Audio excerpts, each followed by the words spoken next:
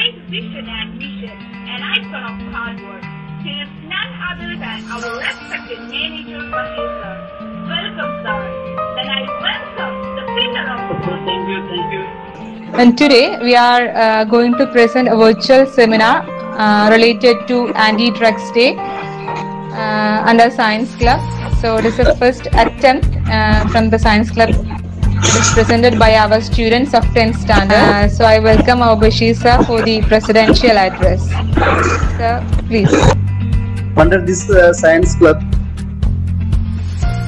that uh, students of uh, 10th standard, they already decided to organize a webinar related to anti drug day. With your permission, uh, I am inaugurating with the pleasure. Hey all, good evening. Myself Fatima Vega from Chemistry. Today I'm here to talk about what is drugs and its different types. Can be categorized by the way in which affect our brain. Drugs are the substances that change a person's mental or physical state. They can affect the way your brain works, how you feel and behave. How a drug affect an individual is dependent on a variety of factors including body size, general health, the amount and the strength of drug. You may act differently, feel differently and think differently. If you have taken drugs and you may struggle to control your actions and thoughts. The more you take a drug, the more likely you are to build up a tolerance to its effects. This can lead to need to take larger doses to obtain the effects of the drug. It is important to remember that there is no safe level of drug use. Be careful when taking any kinds of drugs. In small quantities, depressants can also cause a person to feel relaxed and less inhibited. In large amount, they may cause vomiting, unconsciousness and death.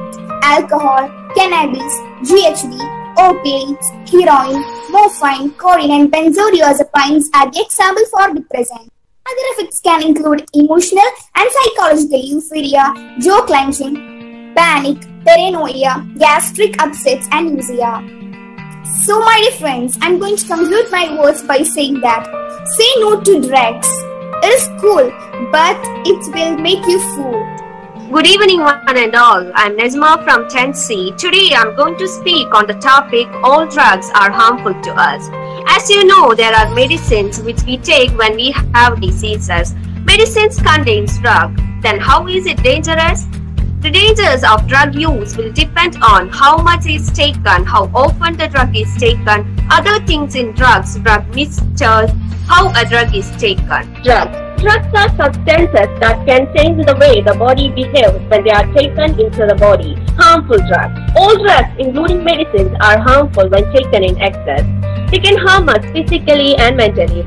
Some drugs are illegal because they can cause addiction. It can cause a lot of problems not only for the one who takes but also for their family and society. Many, many medicines are drugs. But why do we take them? Medicines are used to treat or prevent diseases. Some medicinal drugs do not cure the diseases. Instead, they help in controlling the symptoms.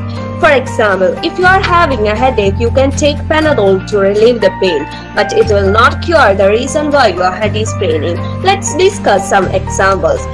Painkillers such as aspirin relieve us of pain, fever and headache. They do not cure us of the diseases that causes the pain. Inhalers aid breathing to relieve asthma, but it does not cure us. Insulin controls sugar levels in blood, but it does not cure of diabetes.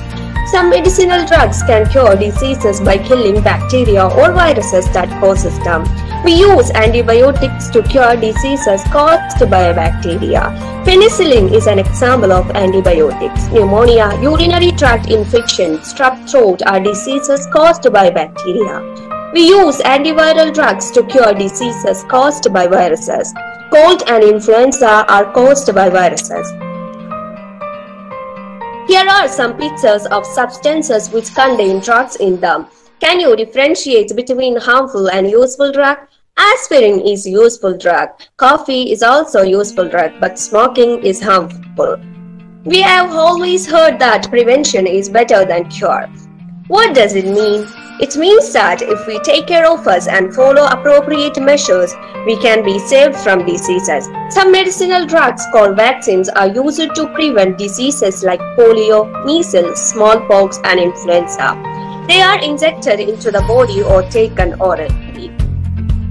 Drug abuse. It is the use of drugs in a way that will harm your body. Taking illegal drugs is a form of drug abuse. Taking too much medicinal drugs is also drug abuse. When doctors prescribe antibiotics, patients are told to finish the medicines. Not doing so can cause the antibiotic to be ineffective. Taking antibiotic without proper prescription can also make the antibiotic ineffective. You must have seen many speakers people smoking, haven't you? Cigarettes and cigars contain dried tobacco leaves. When burned, the tobacco leaves release smokes that contain many poisonous substances. Some of them can even cause cancer. Many smokers become addicted to tobacco because of nicotine. Nicotine is a drug found in tobacco. It can not only cause addiction but also damage the brain. It hardens the wall of arteries and causes the blood to clot more easily. This can increase the chance of strokes and heart disease in smokers.